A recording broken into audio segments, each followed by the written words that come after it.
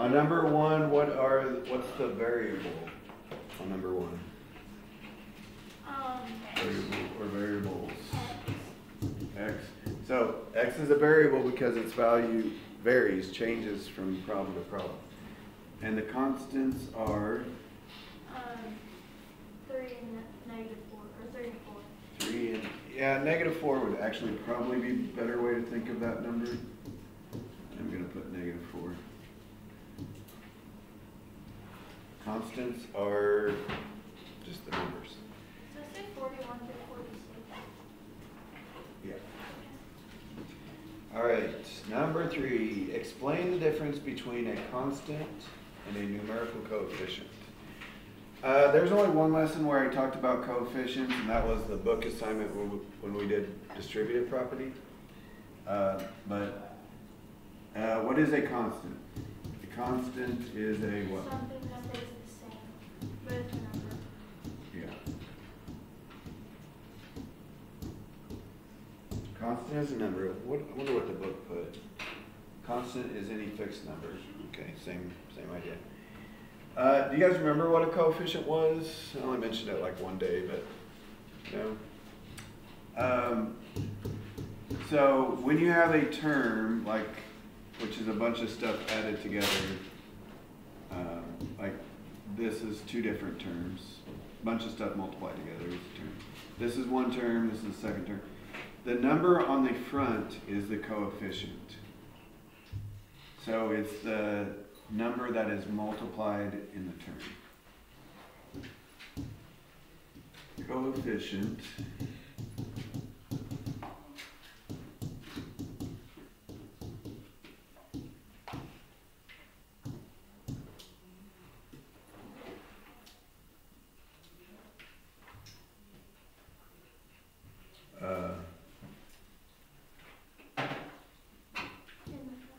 The number multiplier in the term. It's not a very good way to say it, but probably the, the clearest way I can say it. Whoops, number multiplier in the term.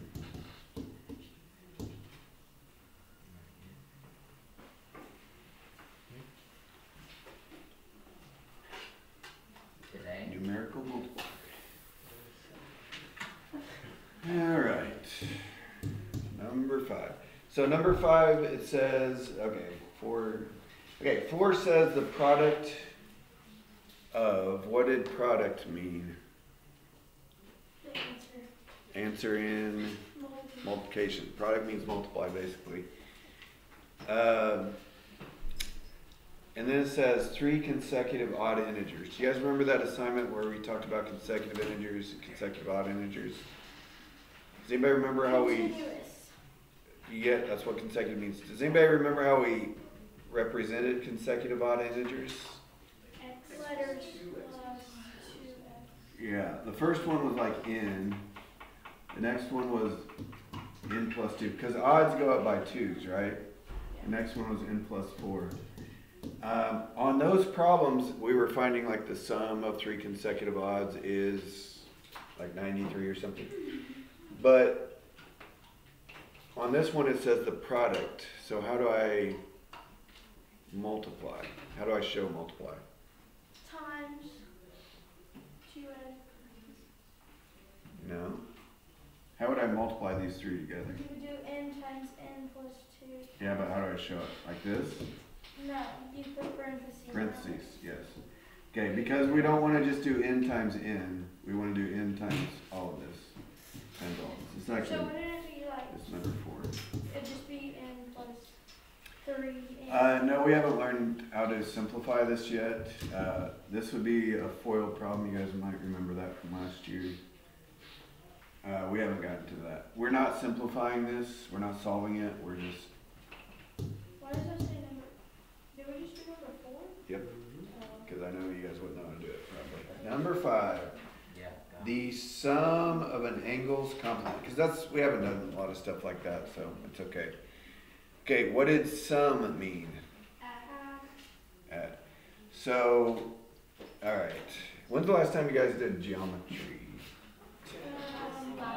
It's either been one or two years, right?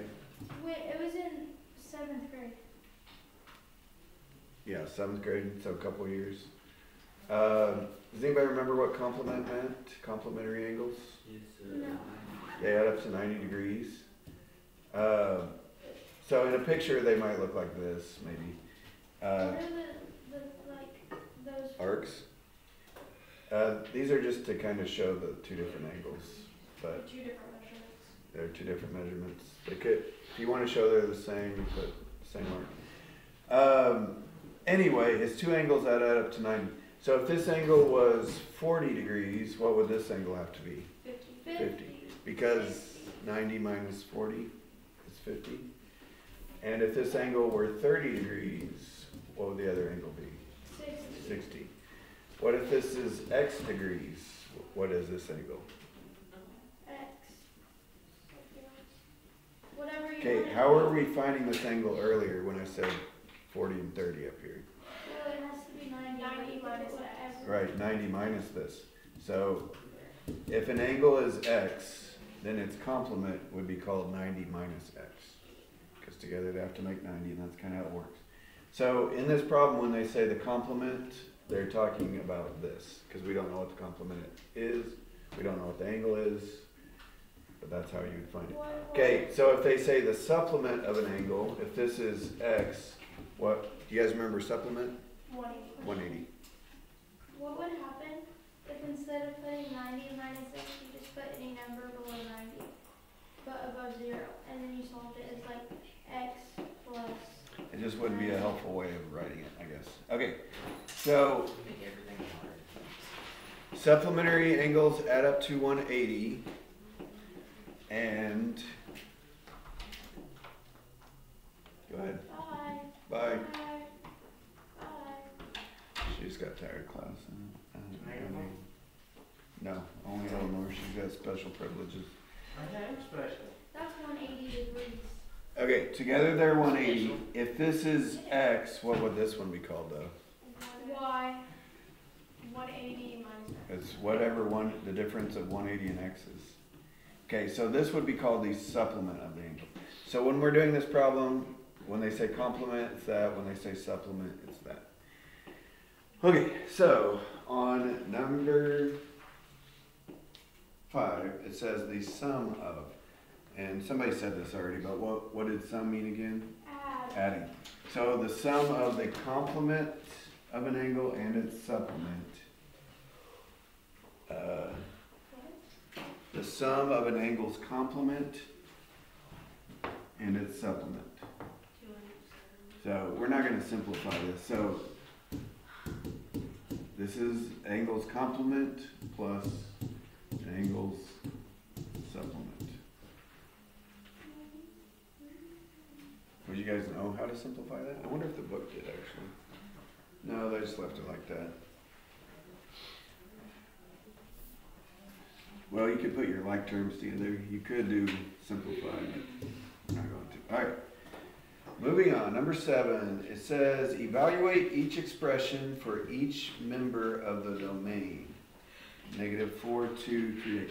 What does that mean? Plug all those good numbers. Right. Domain just means these are the numbers that we put in.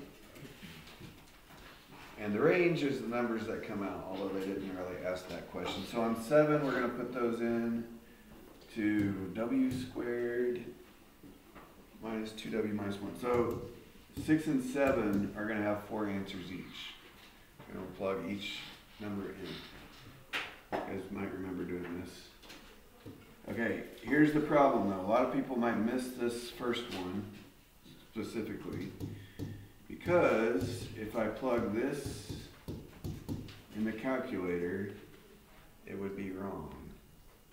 Does anybody know why that would be wrong? Um, Cause you can do it in your head. Because of the exponents first. Okay, yeah, when you write it like this, exponents, because exponents are first, it would square the four and then it would add the negative, which would be negative sixteen. But why is it not supposed to be negative sixteen? Because W is negative four. Right, we're supposed to square all of W, so we're supposed to square the negative two. And to communicate that with the calculator, it would need a parentheses. But what is negative four squared? Negative sixteen. Positive sixteen. Huh? How does it turn, uh, never mind, I got it. And then over here, we basically have negative two times negative four, which is positive eight. By, the way- by the way, the calculator can do order of operations. It can. It should anyway. Doesn't screw up. Um,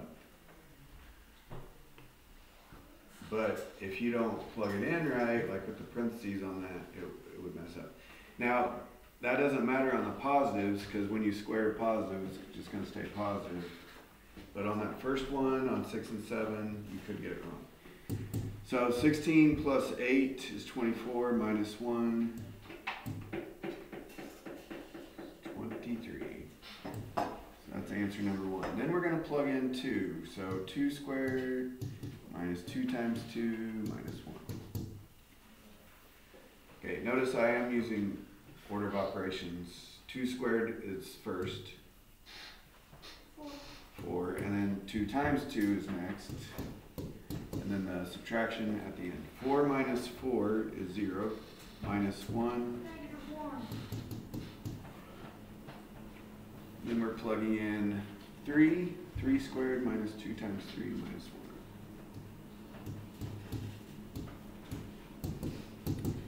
Okay, so this would be 3 squared is what? 9. 2 times 3 minus six is three, minus one is Two. Okay, last Hmm? one of these, eight Shrink a little squared two times eight minus one.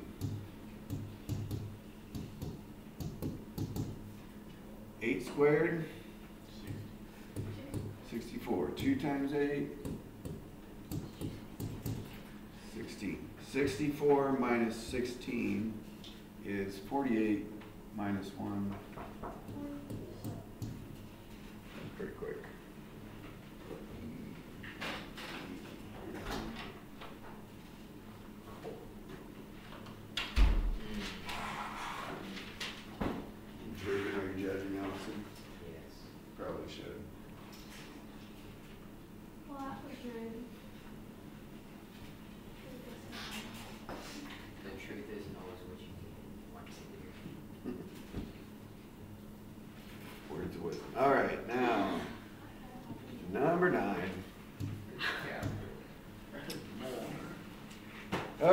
It's more plugging stuff in. Evaluate x equals 3, y equals negative 4, and z equals 2. 2x plus 3y equals minus 16. Okay, so on this one we have three different numbers to plug in. x is 3. You could just hit times 3. I'm going to put parentheses because it makes it look neater. Uh, y is negative 4.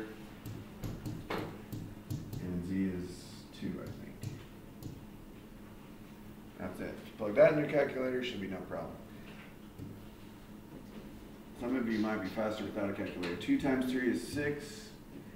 3 times negative 4 is negative 12. Negative 6 times 2, negative 12. 6 plus negative 12, it's like minus 12, negative 6, minus 12.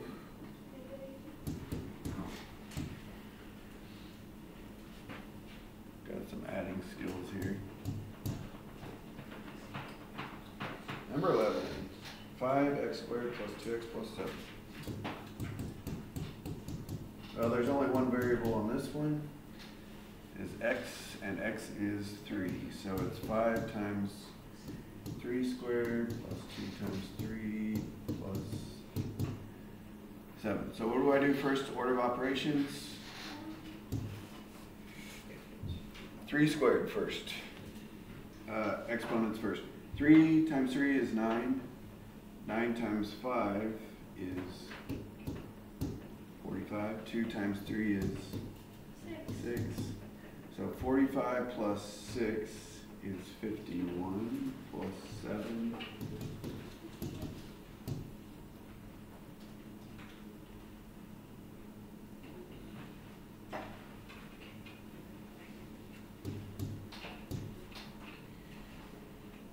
seven. Thirteen, all right. Uh, this one always confuses people. Please pay attention on number thirteen, so I don't have to teach you number twelve. Okay. The formula for the distance that a dropped object falls when air resistance is negligible. Do you guys know what negligible means? Basically nothing. It means basically nothing, virtually nothing. Uh, is D equals one half GT squared. Okay, so they're saying when you drop a object, whatever, this tells you how far the object's gonna fall in the. Uh, what do you think D stands for? Distance. This will be like our answer. What do you think, well, what do you think T stands for? oh, Time. You, it's almost always time. So, how far the ball drops or whatever is gonna depend on how much time has passed, right? Like, the more time that's passed, the farther the ball will drop. What do you think G stands for? gravity. Gravity. Uh, so, like, one of the problems is Earth's gravity, one problem is Moon's gravity, so it's different. Stuff falls slower on the moon, you guys probably know that. Um, anyways, um, so these are the two numbers we're gonna plug in, and that'll tell us how far the ball dropped, or whatever. Okay, anyways, if we keep reading the directions, it says, find the distance each object falls in three seconds when dropped. So what are we gonna do with three seconds? Times three. Where's the three gonna go? T. T. And it matters because this number is squared and this number is not. So we do need the three to be over there. Whoops. Um, and then on the problem, it says on the moon, G equals five and one third feet per second. So that's the gravity on the moon. Five and one third. Yeah, it's kind of, it's kind of weird. Anyway, the time is three, so that, that's it. I will do it. Now, if I had to do this by hand, which I kinda am, it's, change this to improper, this would be three times five plus one is sixteen thirds, and three squared is nine.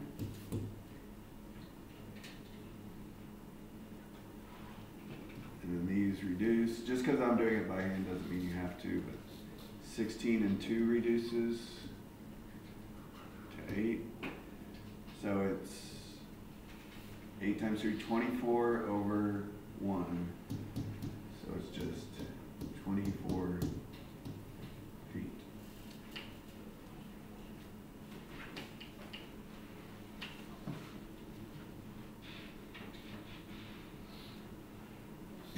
Alright, so just plug stuff in. Part of the stuff you plug in is in the directions. It says three seconds in directions. Alright, fifteen, simplify. Have I called on people yet? I called on Kinsey at the beginning, but that was it, right? Time to start calling. Alright, Rain or Claire, everyone's number. Rain, Clara. One of them. Clara. rain, Clara. rain, Clara. flip a coin, I don't have a coin on me. rain, Clara. rain, I don't, I Clara. rain. Clara. Uh, Katie. we'll go Clara, cause that's alphabetically she comes first. Ah. Next time we'll go Rain. No. Alright, Clara, on fifteen, how can we simplify that? I don't wanna write all that down.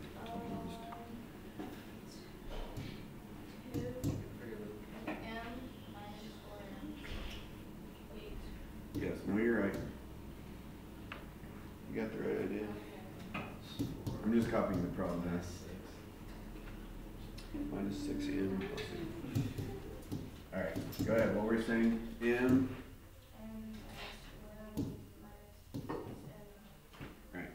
So this would be 1 minus 4 minus 6. Where did the 2 at? Did I copy it wrong? It's an N. Lost my place.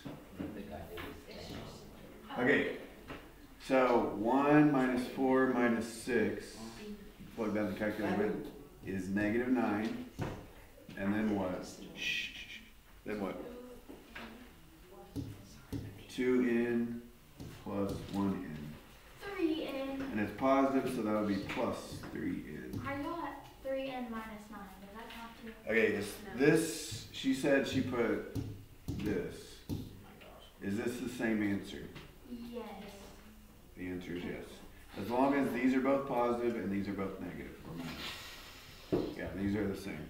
So when we're grading, that's kind of important to know that. These are both correct.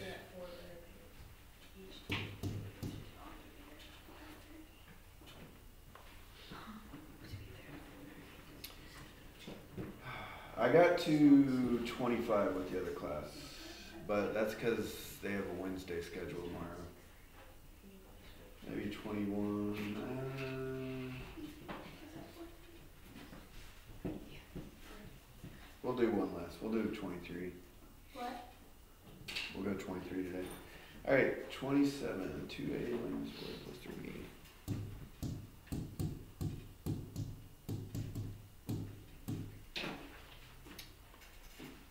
Six A. All right. Allison, what can we do on this one?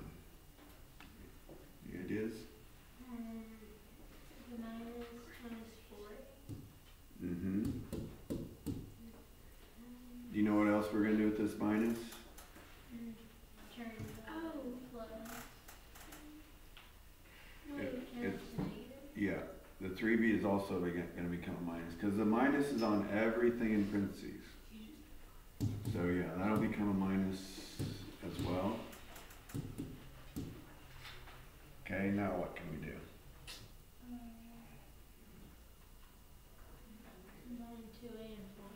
Right.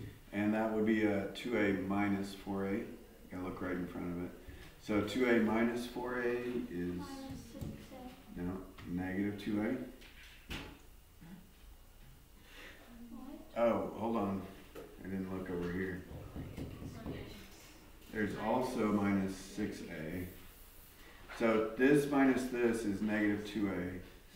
Negative two minus six, Eight. negative eight A. And this guy just kinda stays there. Good job. Number nineteen. Oh gosh, this is long. I'm gonna have to hold my book on this one. X plus two Y. Who is blessed? Draven, this will be yours. Yeah. Four X. Savvy had this one in the other class. She did pretty well. So.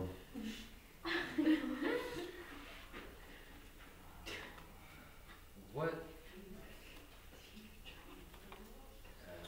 This is probably the hardest one we'll do today because it's just long, it's big. can I like skip for now?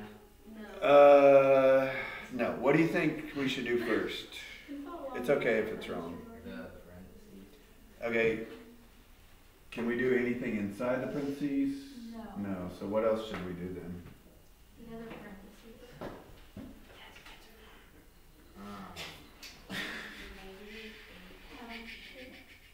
No ideas? Okay, kind of what Allison did first. We can like distribute that. ah, yes, I agree. So what will what will that become? Uh, negative eight x plus one. Right. Okay. Before we get out, we'll- we're still in the brackets, so let's clean that up some more. Like terms. Right. So four x minus eight x, Negative four. and then plus two nine, eleven. Okay. Now that's all we can do inside, right? Now if I copy down what was outside here. Okay, there's a minus right here too. So what are we gonna do with that guy? It's Kinda not the- your question. It's not your question, Brandon. Yeah. Well, that's rude. Shh. All right. So kind of the same thing. Shh, Hush. So what will this become? Po- uh, negative one. Wait, what? Four X, positive. Yeah, positive. So plus four x and Negative minus eleven y. Okay. Kind of a repeat of what you did at the beginning. And then what? Hmm, combine like terms. So one x plus four x and three y minus eleven y. Negative. You got some algebra skills. All right, now, before I forget, because this was screwing up the other class, I guess we haven't seen this enough, so I need to talk about it. So I know this is kind of a duh question, but okay, what's two x plus three x? Five X. Okay, now here's where the other class was. I guess we haven't seen this enough. What's three x squared plus two x squared? Um, it'd be five X. Okay, Rain was right. She said five x squared. Okay, you do not add the exponents. That's only when you multiply. I don't know if you guys remember like chapter one and all that stuff. This is when you add the exponents, like x times x. For this one, it's more like this one. Three of these plus two of these equals five of those. Does that make sense? Three of these plus two of these equals five of these. So the exponents do not change when you're adding these. Alright, does three x squared plus two x add together? Do these two go together? No, they are not like terms. So if this was like all you had, there's nothing you could do. It doesn't simplify. These simplify, these simplify, but notice the exponents don't change when you're adding and subtracting. Alright, that was for number uh, fourteen and sixteen and eighteen. They all have an x squared over there. So, alright, let's do a couple more. Two thirds y minus three fourths.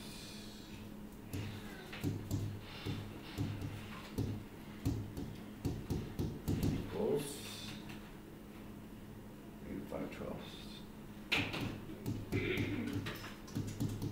y equals one. Alright, so basically on twenty-one, I just copied it down. What they're saying is, um, they solved the equation and they got y equals one half. We're supposed to say, did they get it right or not?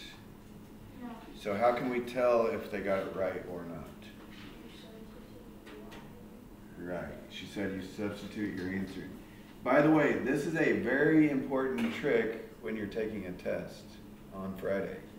Because you can check all your answers and see if they're right. So we're plugging it in, and if it, if these two sides are actually equal, we know we got it right. So what does it mean two thirds y? What does that mean? Two thirds times half, right? Okay, this was, it's kind of a pain to do this by hand, uh, this over here, but I'll go ahead and do it. You could just plug this part in your calculator and see if it equals that part.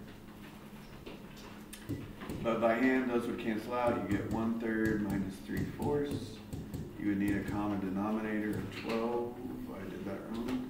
Let's multiply by four, and that by three. Four twelfths minus nine twelfths is negative five twelfths. So did it work? Yes. Yeah, that's what it was supposed to be. So yeah, they got the answer right. So we're just supposed to put yes. They did it right.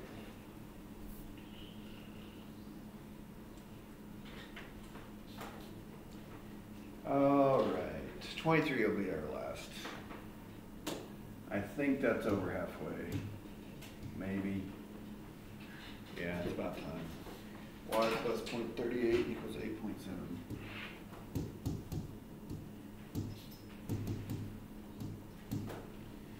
Okay, yesterday we were getting rid of decimals, but that's not necessary most of the time, and I wouldn't get rid of the decimals on this one.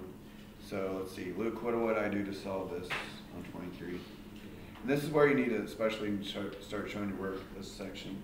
solving equations. What would I do to solve this for Wyson? No. Okay, we gotta get y by its, no, we gotta get y by itself. So how do I get rid, huh? No. Okay, actually, we did learn a trick to move the decimal yesterday, but it's not necessary to solve this. So if we had an added value, how do we get rid of an added value? Subtract. So, and if you do that to one side, then you do it to the other. So minus 0.38.